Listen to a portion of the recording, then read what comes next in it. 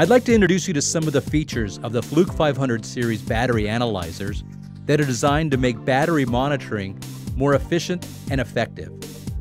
If you're looking for an advanced battery analyzer, the Fluke BT521 is the ideal test tool for maintaining, troubleshooting, and performance testing individual stationary batteries and battery banks the 500 series battery analyzers have been specifically designed for measurements on stationary batteries of all types, including gel, AGM, lithium ion, and wet cell lead acid batteries.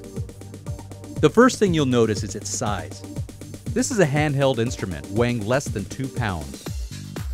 On the front, you'll find control buttons and an easy to use rotary switch for making measurement mode selections. On the side of the instrument, you have a USB port that is used to download data to your computer so that you can compare measurement results and trends and generate battery analysis reports.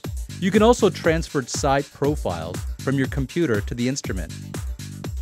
Just besides that is the power input, used for charging the internal battery. The battery is a lithium ion smart battery. Access it here by rotating the lock and removing the battery cover.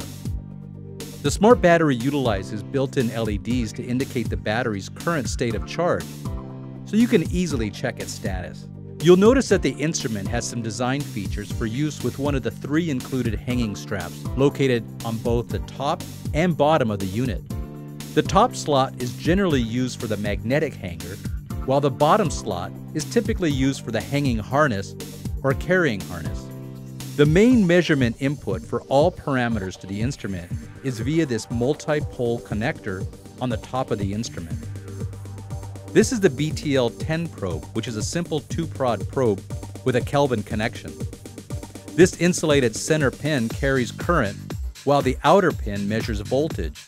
Voltage drop caused by the test current draw is zeroed out by the Kelvin connection, nullifying its effects. Check out fluke.com for more information.